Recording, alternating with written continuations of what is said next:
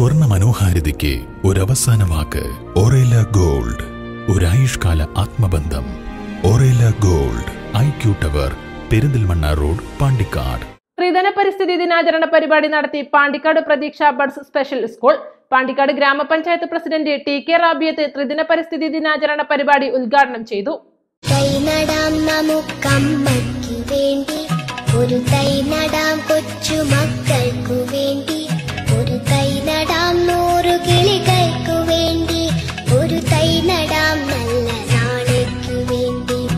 ഒരു കൈ നടാം വേണ്ടി ഒരു കൈ നടാം കൊച്ചു വേണ്ടി.